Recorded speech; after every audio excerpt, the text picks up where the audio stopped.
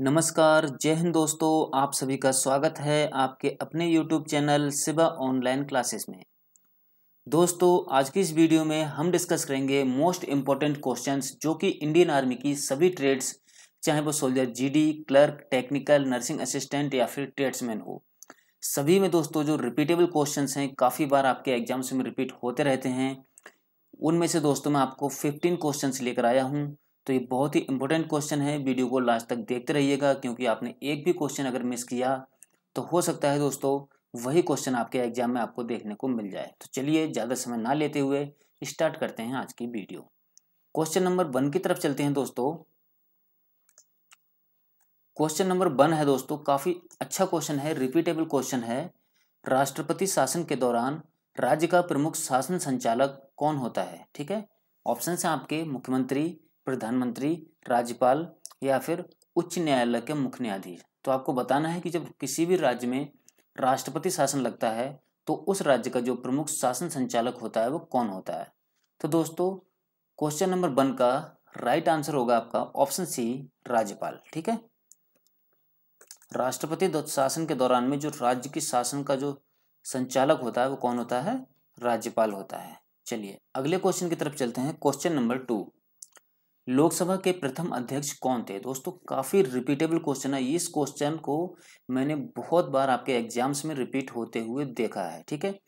तो लोकसभा के प्रथम अध्यक्ष कौन थे? ऑप्शंस हैं मोतीलाल नेहरू, सरदार हुकुम सिंह, गणेश वासुदेव मावलांकर और बी आर अंबेडकर तो यहाँ पर कन्फ्यूज़ नहीं होना। आपके एग्ज़ाम में गणेश वासुदेव मावलांकर या फिर जी बी मावलांकर लिखा हुआ भी आ सकता है। तो क्वेश्चन नंबर टू का राइट आंसर कौन सा होगा आपका? ऑप्शन सी जीबी मावलांकर, यानी कि गणेश वासुदेव मावलांकर लोकसभा के प्रथम अध्यक्ष थे। क्वेश्चन नंबर थ्री की तरफ़ चलते हैं। क्वेश्चन नंबर थ्री है दोस्तों हमारा। भारत का सबसे बड़ा जलप्रपात, जोग जलप्रपात किस राज्य में स्थित है? तो सबसे पहले तो आप यहाँ पर ये देख लीजिए कि भारत का सबसे बड़ा जलप्रपात कौन सा है? भारत का सबसे बड़ा जलप्रपात है दोस्तों, जोग जलप्रपात, ठीक है? और ये किस राज्य में स्थित है, ये आपको बताना है। तो क्वेश्चन नंबर थ्री का ऑप्शन है आपके आंध्र प्रदेश, उत्तर प्रदेश, केरल या फिर कर्नाटक। तो क्वेश्चन नंबर थ्री का राइट आंसर होगा आपका ऑप्शन डी कर्नाटक।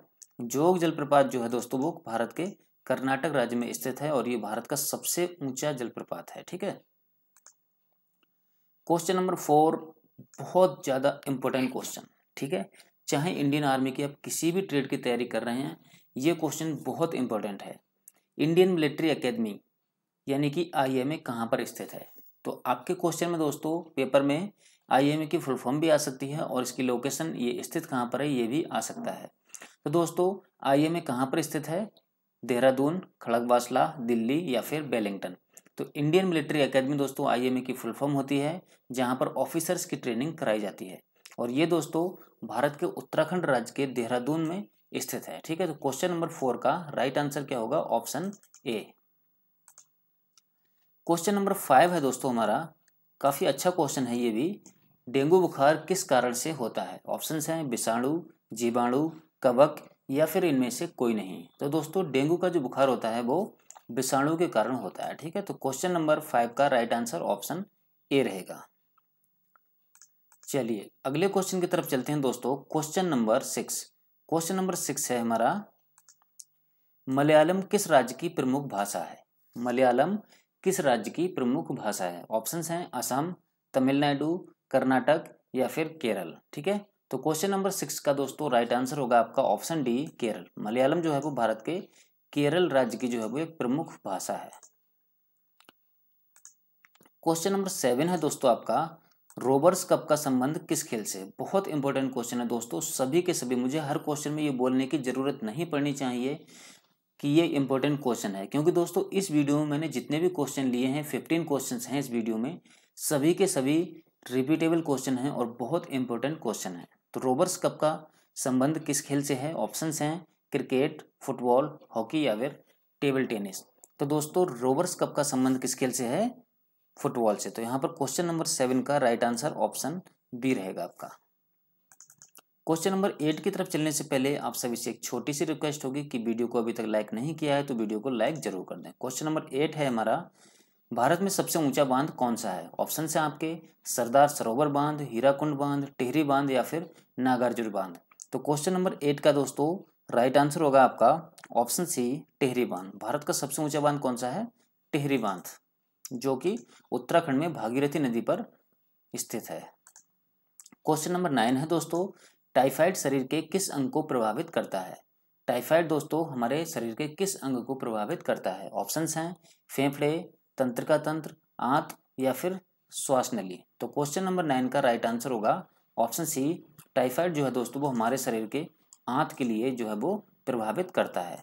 अगला क्वेश्चन है, क्वेश्चन नंबर टेन, किसे भविष्य का ईंधन कहते हैं? ऑप्शंस हैं, हाइड्रोजन, हीलियम, लिथियम या फिर ऑक्सीजन। तो दोस्तों भविष्य का ईंधन कहा जाता है हाइड्रोजन के लिए। यहाँ पर ऑप्शन नंबर ए आपका, क्वेश्चन नंबर दस का राइट आंसर होगा। अगला क्वेश्चन है दोस्तों हमारा, क्वेश्चन नंबर इलेवन। और क्वेश्चन नंबर इलेवन है दोस्तों, केंद्रीय औषधि अनुसंधान संस्थान, ठीक है? All India institute of medical sciences की बात यहाँ पर नहीं हो रही है, यहाँ पर हो रही है दोस्तों, केंद्रीय औषधि अनुसंधान संस्थान, ठीक है? तो केंद्रीय औषधि अनुसंधान संस्थान कहाँ पर स्थित है? ऑप्शन है आपके, दिल्ली देहरादून, लखनऊ या फिर बुलंदशहर। तो क्वेश्चन नंबर इलेवन का दोस्तों आपका राइट आंसर होगा ऑप्शन सी लखनऊ, ठीक है? औषधि अनुसंधान संस्थान जो है वो उत्तर प्रदेश के लखनऊ में है और उत्तर प्रदेश की राजधानी भी कहाँ पर है? लखनऊ। तो क्वेश्चन नंबर इलेवन का राइट आंसर ऑप्शन सी रहेगा।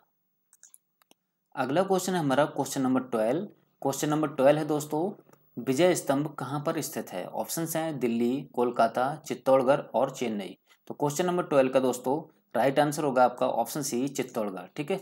विजय स्तंभ कहाँ पर है? राजस्थान के चित्तौड़गढ़ में स्थित है।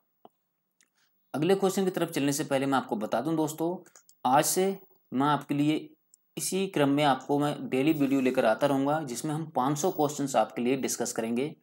और मैं गारंटी देता हूँ, आपकी जनरल नॉलेज और साइंस तीस नंबर के जो आपके क्वेश्चन हैं, वो आपके इसी पेपर में से जो है दोस्तों वो आना है, ठीक है? मतलब तीस क्वेश्चन आपके साठ नंबर के इन्हीं पाँच सौ क्वेश्चन में से आना है। तो आप हमारे चैनल पर कम से कम एक महीने तक पढ़ के देख लीजिए और उसके बाद में आप अपना पेपर देना, आपके तीस नंबर की गारंटी मैं ले सकता हूँ। सॉरी, तीस क्वेश्चन की, ठीक है? तो रक्त समूह की खोज किसने की थी? ऑप्शन हैं William Harvey, Leeuwenhoek, McCollum और लैंड स्टीनर। दोस्तों, रक्त समूह की खोज की थी लैंड स्टीनर ने, ठीक है? चलिए, अगला क्वेश्चन है हमारा क्वेश्चन नंबर फोर्टीन और एक बार मैं आपको फिर से बता दूँ कि ये जो 500 क्वेश्चंस होंगे, वो पिछले ईयर्स के रिपीटेड क्वेश्चंस होंगे। मतलब पिछले ईयर्स के जो पेपर्स हैं, आपके लास्ट ईयर्स के, करीब लास्ट पाँच साल के पेपर्स के, जो चुनिंदा क्वेश्चन है, काफ़ी बार रिपीट हुए हैं, वही क्वेश्चन मैं आपको कराऊँगा, ठीक है? तो क्वेश्चन नंबर फोर्टीन का right answer sorry question number fourteen है, हमारे राष्ट्रीय ध्वज में केसरी रंग किसका प्रतीक है? ऑप्शन हैं, साहस और बलिदान, समृद्धि का, शांति का, या फिर इनमें से कोई नहीं। तो दोस्तों जो केसरिया रंग है, वो साहस और बलिदान का प्रतीक होता है, ठीक है? अगला क्वेश्चन है हमारा क्वेश्चन नंबर फिफ्टीन इससे पहले मैं आपको बता दूँ कि ये है इस क्वेश्चन पेपर की दोस्तों आंसर की और इस क्वेश्चन पेपर के लिए आप जो इसकी पीडीएफ फ़ाइल है, इसको बिल्कुल फ्री में हमारे टेलीग्राम चैनल जिसका लिंक इस वीडियो के डिस्क्रिप्शन में दिया गया है, वहाँ से आप डाउनलोड कर सकते हैं। क्वेश्चन नंबर फिफ्टीन है, लोकसभा का कार्यकाल कितना है? ऑप्शन हैं चार वर्ष, पाँच वर्ष, छह वर्ष या फिर सात वर्ष। तो क्वेश्चन नंबर बी का सॉरी फिफ्टीन का राइट आंसर ऑप्शन बी होगा। लोकसभा का दोस्तों जो कार्यकाल होता है वो पाँच साल का होता है। तो दोस्तों, आज की वीडियो में बस इतना ही। उम्मीद करते हैं वीडियो आपको पसंद आई होगी। और अगर वीडियो पसंद आए तो वीडियो को लाइक कर देना। और अगर चैनल पर नए हैं तो चैनल को सब्सक्राइब ज़रूर कर लेना, ठीक है? तो चलिए दोस्तों, कल फिर मिलेंगे एक नई वीडियो के साथ में। तब तक के लिए नमस्कार। जय हिंद, जय भारत।